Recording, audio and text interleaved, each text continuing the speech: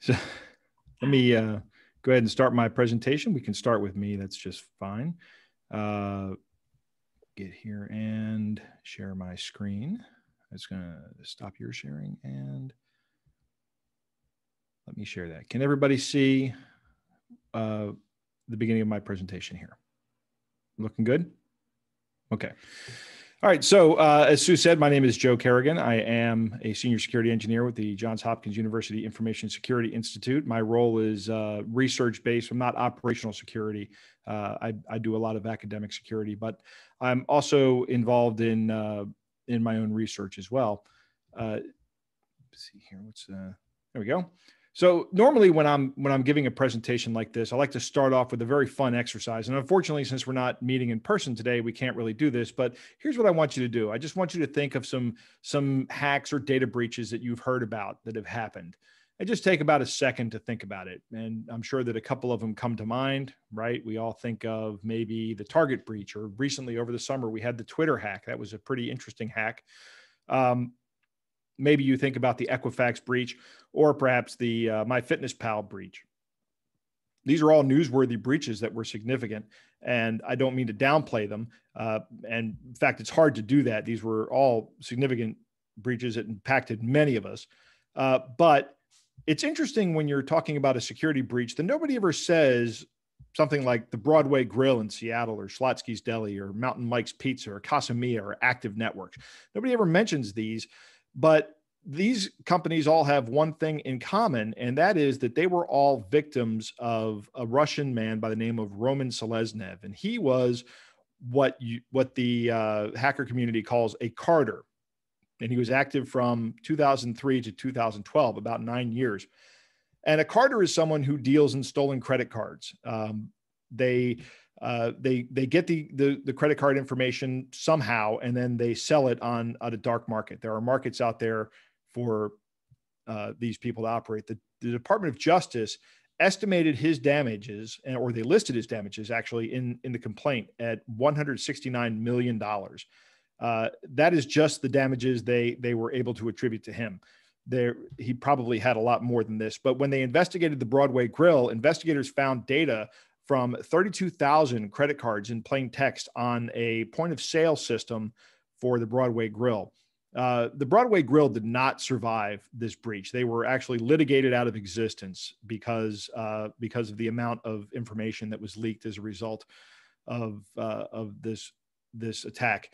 Uh, the way Roman Seleznev worked is he would search for uh, remote desktop connections on the internet. And if he found them, he would try to brute force the passwords. If, and if people had weak passwords on a remote desktop connection, he could get in. And once he saw he was on a point of sale system, he would install his software that would take the credit card information and then send it to him. Uh, and he had that all automated. He chose small businesses deliberately because they were easy targets. So uh, we're going to talk more about this, but he did target specifically small and medium sized businesses. Uh, the good news is he was found guilty and is now a guest of the United States government and will be for the next uh, number of years. His sentence was 27 years, uh, but that doesn't stop the amount. It doesn't even help to uh, recover the amount of damage that he did, especially to companies that are no longer in business. The most important thing, and the reason I, I use this as an example, is I, I want everyone to understand that uh, that you are of value to malicious actors. Uh, uh, a lot of people, I, when I when I speak to them, they they have this attitude of nobody's interested in what I have because it's it's not very valuable. But you should understand that yes, you are a target, and everyone is worth something to a malicious actor. So let me ask a few questions, and you just answer these in your head. You think about what uh, whether or not you use these things. Do you have a bank account? Uh, do you have a social security number or perhaps an employee identification number? Do you have credit cards or debit cards that you use to pay for services uh, for your business, for your small business? Do you handle other people's information, including employees? Uh, do you provide any service where you have to maintain some address information or, or perhaps you do tax preparation for somebody? Uh, that's a lot of valuable information. Is the information that you have necessary for you running your business. Uh, in other words, what would happen to that to your business if that if that information that data was no longer available to you? Uh, do you use computers at all? Any any kind of computers? Malicious actors have ways to monetize all of these. In other words, they can find profit from any one of these uh, these pieces of data that any, any one of these bullet points I listed above. Many of these actors live in countries with very low income. So I think in Nigeria, the average uh, or the median income is $2,700. So that's the kind of marketplace you're dealing with. If somebody can scam you out of 500 bucks or 100 bucks, that's a good day for a lot of people uh, in around the world. And it's it's important. We live in America, which actually has a very high uh, income per capita when compared to the rest of the world. And when when you look at the rest of the world, uh, that's not the case. So we are as as American citizens big targets for these guys. I want to talk about some trends in cyber in, in cybercrime. And one of the biggest trends we're seeing right now is ransomware is increasing a lot. And the reason that ransomware is increasing is because it is effective. Uh, a lot of people, uh, when they are infected with ransomware, really have no other option other than to pay the ransom. Uh, some of the things we're seeing now is that these ransomware attacks are also being turned into data breaches, and and uh, that is directly a result of market forces. Because ransomware has been increasing, a lot of people have been also saying, okay, well, if I'm a victim of a ransomware attack, I want to make sure I can recover from that ransomware attack. So I'm going to go ahead and have backups of all my data that I can restore once I have once I experience one of these attacks. Well, the attackers are subject to that uh, that that economic force, and they have decided that what they're going to do now is that before they encrypt your data, they're going to steal it all. And then when they send you the ransom note or they put the ransom note on your machine and you start communicating with them, they're going to say, oh, by the way, we have your data. And if you don't pay the ransom to decrypt it, we're going to release it or we're going to sell it. So that that's a big trend that we're seeing in ransomware. Uh, they are targeting businesses with a low tolerance for downtime. This includes uh, organizations like professional services, manufacturing, and government. Many of you guys probably fall into the uh, professional services category. You do things for other people, that's professional services. And what's interesting is that they are actually calculating the ransoms based on revenue. Uh, because they know how much, because they've stolen the data, they kind of have an idea of how much they can charge you to, to decrypt your data. They do that investigation. There's a group called the Sodinokibi group that they are a ransomware group, and IBM estimates that they have made $81 million in 2020. That is a lot of money to make from a crim- criminal operation. And that is just the uh, just the estimate that IBM is making. This is, uh, they've probably made a lot more than that. So, what we're seeing is that these cybercrime organizations are actually becoming more like organizations. They're organized a lot like businesses. They have lead generation, and these are the people that will send you phishing emails. They have sales. These are the people that you talk to once you respond to a phishing email. Uh, they have service. Uh, they have management oh the service they even have customer service. Like for example if uh, there are ransomware organizations that when they send you the keys to decrypt your data if you're having difficulty they will actually get on a, uh, a zoom call with you or a, uh, uh, some kind of some kind of teleconferencing call and walk you through the process. They actually have tech support to decrypt your data. Uh, and they do that because they know that if if they don't do that then other people will be less likely to pay the ransom. Uh, they have recruitment. This is an interesting new uh, uh, new new occurrence. The Sodinokibi or the REvil group has put one million dollars in Bitcoin into a Russian hacker website to try to uh, get people to join their operation. These these folks have realized that they have a product essentially, and what they're doing is they're going to a service model. They're doing ransomware as a service. So if if a malicious actor out there wants to start um, being a malicious actor, there's somebody out there who wants to start being a malicious actor, they can team up with the REvil group or Sodinokibi, and they can say, uh, yeah, sure, I'll go out and find some people to encrypt their data. And they get about 70% of the profits. And the Sodinokibi group gets about 30%. They're actually doing this very much like a franchise business model. Uh, there are other things out there we've seen that are platforms that are essentially turnkey phishing kits.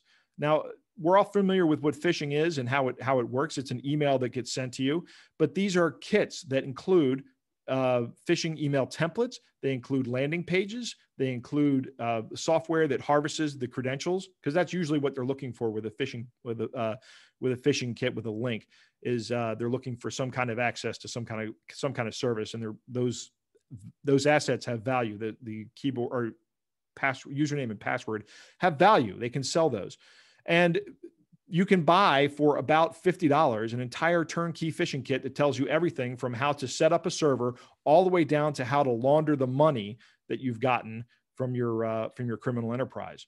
And it's remarkably cheap so anybody can just pick this up and do it. And that's really where the risk comes in. Um, so why target a small business as opposed to targeting a large business uh, number one, small businesses do not have large cybersecurity budgets. If you are a, a single person operating a business or there's two or three people in your business, you don't have the, the money to have a, a cybersecurity budget, period. Uh, you don't have you may not even have dedicated IT resources. You may not have people that uh, people that are uh, IT people on your staff. You probably don't if you're a very small business. You pr- you probably pay somebody for that service if you don't do it yourself uh, they don't have the dedicated security resources. Um, so uh, this is kind of a reiteration of the of the previous point. But but here's here's the other side of that token. By the same token, your assets are typically less valuable, right? Um, so if you look at the target breach, uh, the assets there were valuable because they were so large. A, a credit card uh, number sells for about five bucks on on the dark web if it's good. And if I can get a million of those or however many million, that's a that's a big payday. But if I go into a small business, I may only get 10, 20 of those. Uh, so that means that I'm going to want to get in there and move quickly as an attacker. I'm not going to want to spend, I'm not going to do what the attackers in Target did. I'm not going to spend an entire summer going into your network, establishing uh, presence and, and persistence. I'm just going to try to get you to, to, to give me the information as quickly as possible. So the economics of this will always count in terms of prevention. Uh, so make it as difficult for the malicious actors as you can. And in that vein, what is the biggest threat for the small business? and it is quite simply social engineering and that's a fancy term i i don't know why we call it this but we do in in the industry but it's essentially getting you to act in a manner that's against your interest uh, and the way it will manifest for businesses is most often just scams. And there are tons of ways that you people are scammed. Um, and we talk about that on the hacking humans podcast. But basically here's how it works very simply. They they try to get you to short circuit your thinking with some kind of emotional trigger. And we all have emotional triggers. In fact uh, on on the podcast i frequently will say uh, or occasionally i'll say this is something that would absolutely work on me um, and one of the one of the prime examples is not actually a, uh, a, a a phishing scam, but it's a it's a it's a con artist scam or a pickpocket scam. If if I'm with a child. Let's say I have one of my kids. My kids are grown now, but let's say I'm younger and I have younger kids. There's a scam where uh, they would take a, they would target a kid and spray mustard on a kid, right? And then the kid goes up to his parents, and while the parents bend over to get the mustard off the kid, that's when they pick the parent's pocket. And that is absolutely something that would work on me. It it would it would it would be something that would I'd lose my wallet in that case. So they short circuit your your thinking with these emotional triggers, and the uh, they're usually using something like fear or greed. Uh, that's the two big the two big things they uh, they use, and there almost always is some kind of artificial time constraint, like you need to handle this today. Uh, and then the other thing, the other element of this is isolation. They're going to try to say, don't talk to anybody about this. Okay. So use these three items as red flags. So if you see someone is is appealing to your fear or your greed, if they're if they're telling you something needs to be done almost immediately and they're trying to tell you not to talk to other people, this is probably a scam. That's the way scams operate. Um, why do people do this? Why why is this so prevalent? It's because it's fast, cheap, and effective, and it can be conducted with by anybody with little or no technical expertise. This harkens back to the uh, the phishing kit I was talking about. Uh, in 95% of all cyber events, an email is the first thing that the attackers uh, do to get into the company. They they may do a little bit of reconnaissance beforehand. In fact, if they're going like in Target, they did a lot of reconnaissance. Uh, but the first thing they're going to do is they're going to send an email. All right. Uh, so social engineering attacks come in a, a, bunch of different shapes and sizes. We have phishing and spear phishing.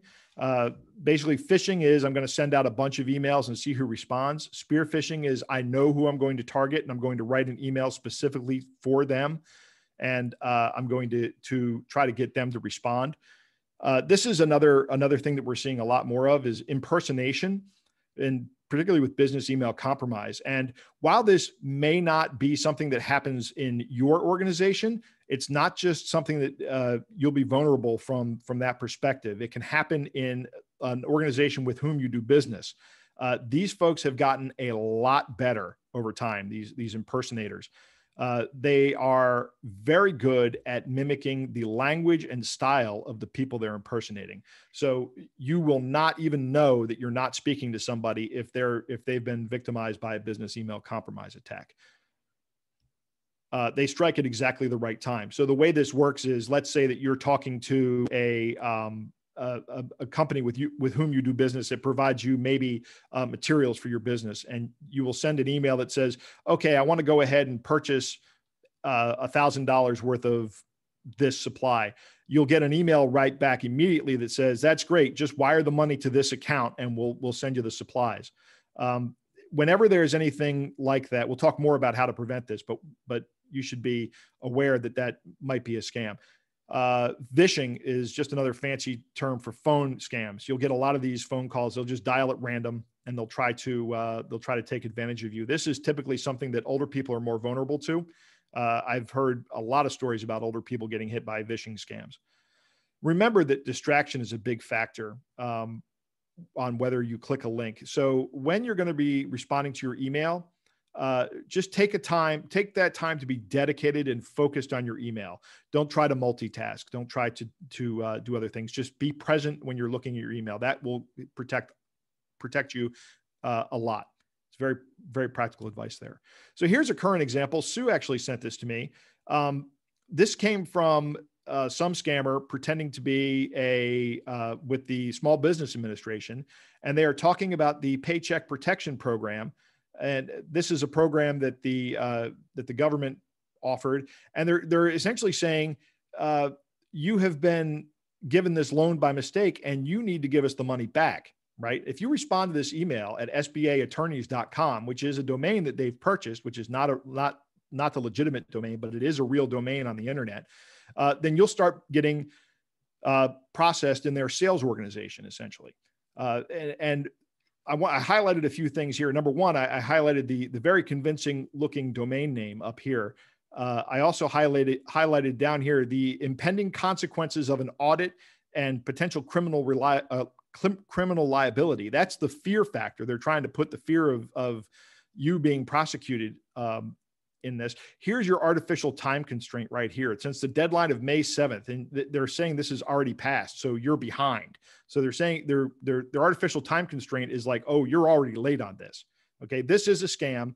Um, this is not anything that anybody needs to re- respond to, and it's it's uh, it's very cleverly crafted. But this one is actually not very well worded, and a lot of times we see that, but a lot less than we used to see the, the poor wording. So they're getting better at the wording.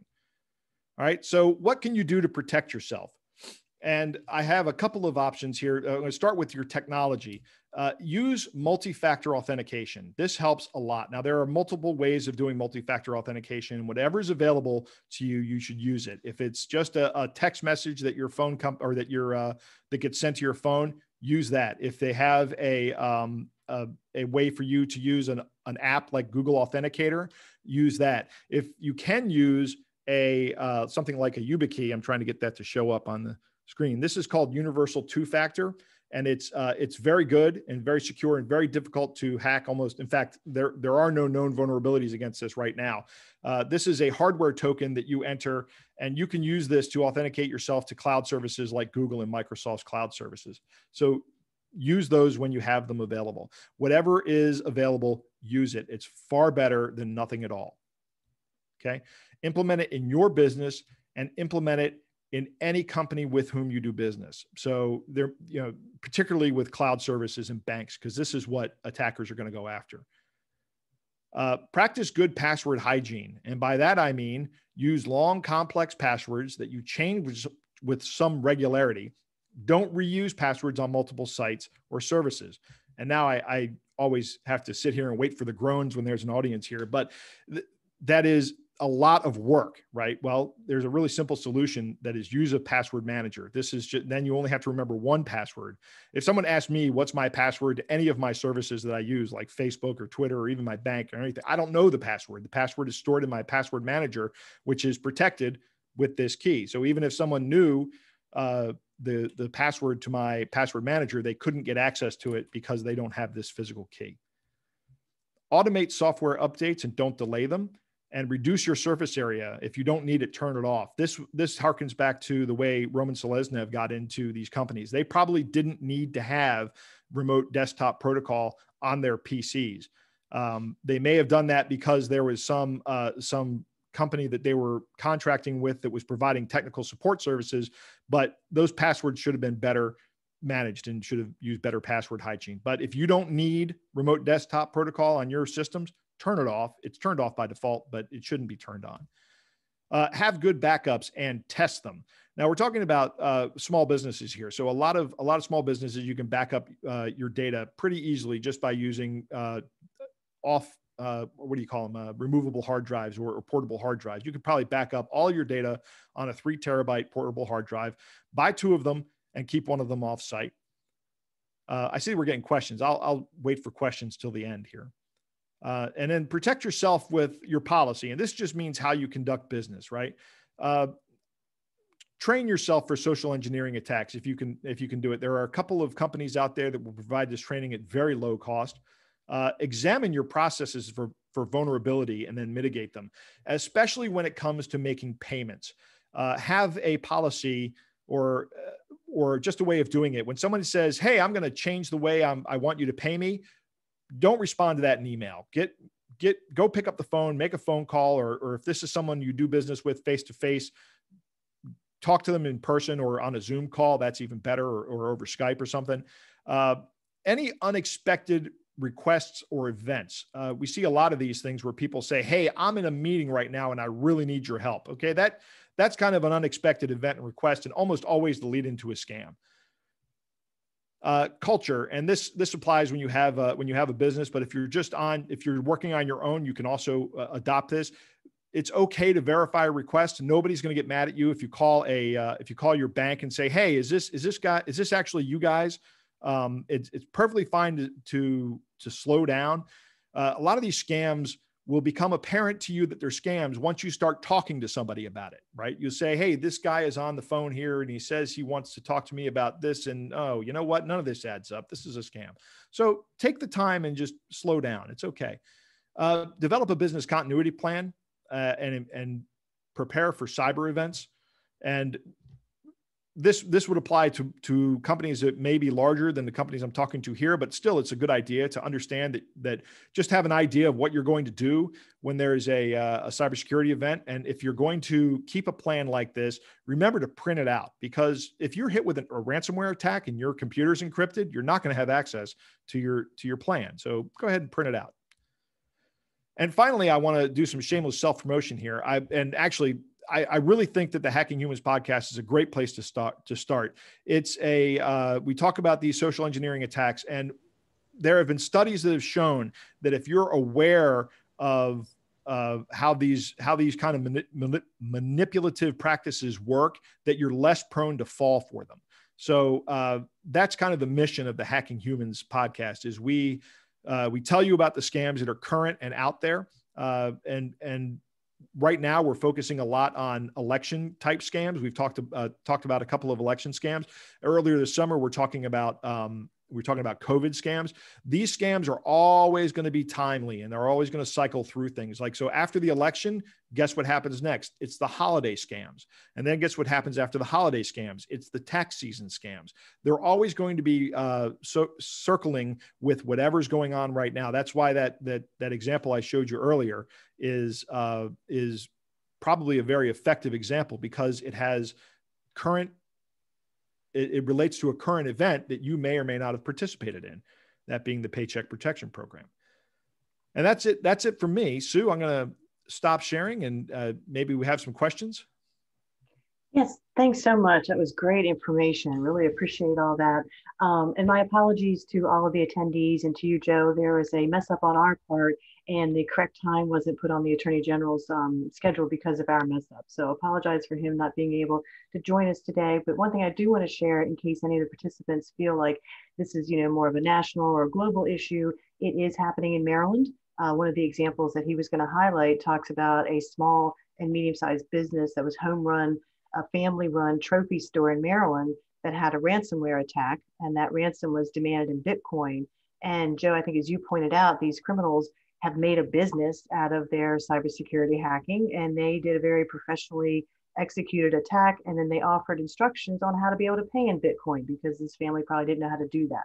That's right. So it shut the business down for a week as they worked to, you know, get themselves back online. But it is happening in Maryland, and it is prevalent. Now, did the business recover, or did they did they pay the ransom or not? I believe they did. I don't know all of the details because uh, of the, uh, the, the mess up on our end with the attorney general couldn't join us today. But okay, they're always going to ask for payment in Bitcoin or in some other cryptocurrency um, because that can be done globally, and it's it's while it's not uh, completely anonymous. Uh, there are ways that I can move that money around after I've gotten it to make it very difficult to trace it back to me, and then right. I can launder it fairly easily which is why one of the concerns around Bitcoin and, and those kind of currencies are creating on the federal level, you know, and they're trying to figure out how to regulate and what to do with that. But right. we do have a question, and then I wanted to give another example, and maybe we can talk about a few other um, ways that businesses can protect themselves or get information, further information. So there's a question here about what is MFA? MFA. Did I say MFA or did I not? I didn't say. Mm. I'm sorry. I, I, should have been clear. MFA is multi-factor authentication. So um, uh, let me let me give a great uh, or uh, great. I talk about like what I'm about to say is, is wonderful, but it's let me give you a rundown of the different forms of multi-factor authentication. So in general, multi-factor authentication is uh, if you think of standard authentication, you have a username and a password, and that's actually a very old model for authenticating. It goes back to the 60s and uh, the 1960s, and now we have multi-factor authentication where you have a username a password and then something else. And that something else can come in uh, typically comes in three different forms. Uh, the first the first and the least secure version of that is uh, that you, you're probably most familiar with is you get a text message from the provider. So there are a number of banks that when i log into the bank uh, i get i say they i click a button it says send a text message and a, a, a code arrives on my phone and i enter that um, that is not the most secure version because the problem with that is there is that that code is sent in plain text. Anybody who is uh, around with a piece of equipment can read that code off the off the airwaves. Uh, additionally, that can be uh, I, I can be victimized by a, something called a SIM swap attack, where somebody takes my um, takes my phone number and then they receive the, the text message and I don't receive it because my phone's been kicked off the network and they they have said okay I'm I'm Joe Carrigan uh, and now I have I have lost my phone. Please give me a new sim. Here's my new sim. Uh, please redirect all my information to here. So if they already have my username and password then they can get my uh, access to any account that I have where I use SMS as my two factor authentication or multi factor authentication. Uh, that's kind of difficult to do, but it is possible to do. Uh, next is the, uh, I have one here, these tokens, right? Um, these tokens here or an authentication app.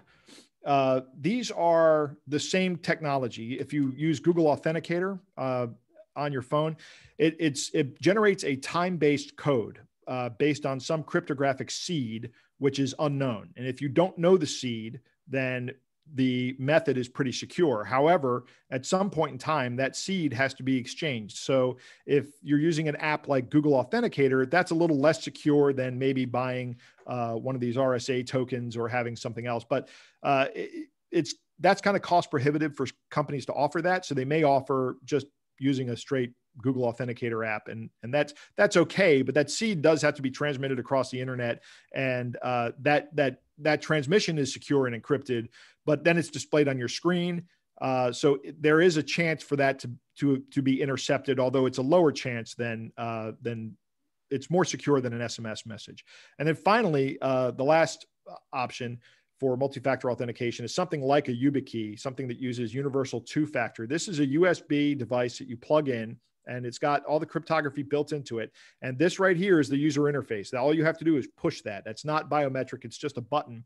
Uh, and I use this to authenticate to my Google accounts so and into my password manager. So uh, i put this into my into my computer. I enter my password and it says okay now we're going to tell you to push the button on your YubiKey and i push the button and a challenge something called a challenge response uh, which is a cryptographic protocol happens.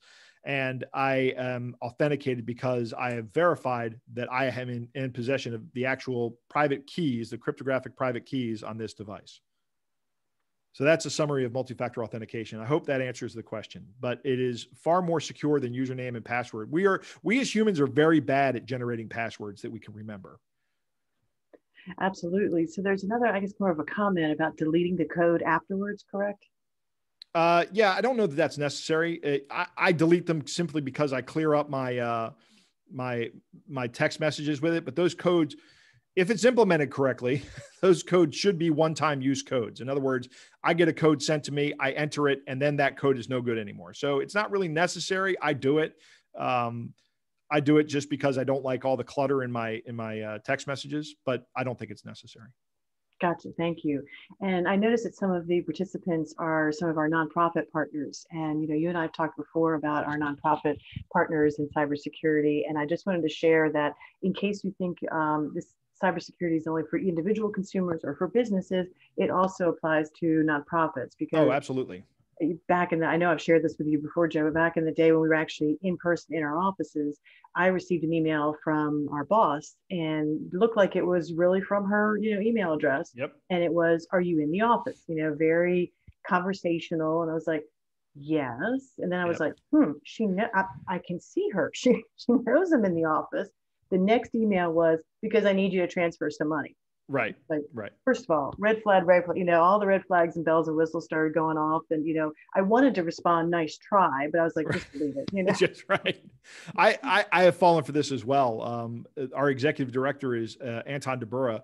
And somebody sent an email to me from a Gmail address that says, Hey, are you in the office right now? And I responded immediately, yes. And I, and I grab my notebooks because this is something that he would say to me if he wanted me to come down and meet him. So I grabbed my notebook and a pen and I, I went down to, to, his office and his office is dark. And I'm sitting there and our uh, head of administration comes out and she goes, I think that was a fake email. I'm like, oh, I can't believe I fell for it. they they they do it well, you know. Yeah, I mean so, it. And I, I went back up and looked at it, and sure enough, it was coming from an email address that someone set up to look like it was coming from Tony. So they were spear phishing us, um, and they were uh, they were doing a pretty good job. They got me to just click response to to click the response. But in the event that you know it was quickly filtered out by our uh, by our email providers, uh, which is at, at the university. So it, it didn't go any further. But I was totally expecting to to see them start with a gift card scam because that was the the rash of uh, of scams we were seeing going around. Gotcha, gotcha. Well, you gave a lot of great tips on how businesses can protect themselves um, a couple other resources. This uh, webinar is actually being co-sponsored by the Maryland Cybersecurity Council. And so if anyone Googles that, there's a whole host of resources on that site as well. And the Small Business Administration for the US government has a lot of um, checklists and different things that people can access and see whether or not they're protecting themselves adequately. But is there anything else that is stands out for you as far as being a great resource for small businesses? Uh, great resource for small. I should have an answer to this question. Um, I, I don't think of anything right off the top of my head. Uh, if if you're going to be running a uh, a small business, I would definitely I would definitely look into finding a company. I can't make any specific endorsements uh, for these companies, but there are lots of companies out there that offer uh, training on social engineering attacks, particularly with phishing. They'll send uh, emails into uh, your company for modest fees that are essentially training opportunities for your staff. Uh, the the one thing I, I absolutely recommend is when when you are doing this, don't make this punitive. Um, use this as a learning opportunity. Uh, don't don't don't embarrass people. Don't fire people because they fail phishing tests. Uh, everybody is going to fall for a phishing test at some point in time. It's just going to happen. It's really, it's you've got to remember that um, that these are people who are being victimized by criminals. Um, and you know, we don't we don't penalize people when they get mugged walking down the street, even though they probably could have done something better that would have prevented them from getting mugged. Uh, but it's they're they're actually criminal uh, victims of criminal enterprises. And so it's important to do employee training. It's important to do employee training, right? And then to and then to n- not be punitive with that training. That's that's my advice. So yeah. I know there's some other resources on the uh, National Cybersecurity Alliance. Um, the Federal Trade Commission has resources. And then NIST, the National Institute for Standards and Technology, has a small business cybersecurity corner. And then there's a toolkit on the US Department of Homeland Security's website under the Cybersecurity and Infrastructure Security Agency. So there are a lot of resources and it may take a little time to kind of filter through them, but it's really worth small businesses time to go out there and take a look at them and see what they need to do proactively versus waiting for that Bitcoin uh, message that that small business right. Maryland. Right. Great. Well, are there any other questions? We'll just wait a couple seconds, see if anybody has any other questions here. And again, this is recorded and going to be put on Cash Academy. There is one more webinar in our Small Business Success Week. That's tomorrow, Friday. And it is by Kiva Baltimore to talk about how to access affordable funding for businesses. So if anyone's interested, please sign up and attend that tomorrow as well. Again, my apologies to the Attorney General's staff for uh, getting the, the time mixed up, and we will certainly make sure that we uh, get that straight and invite him back on again.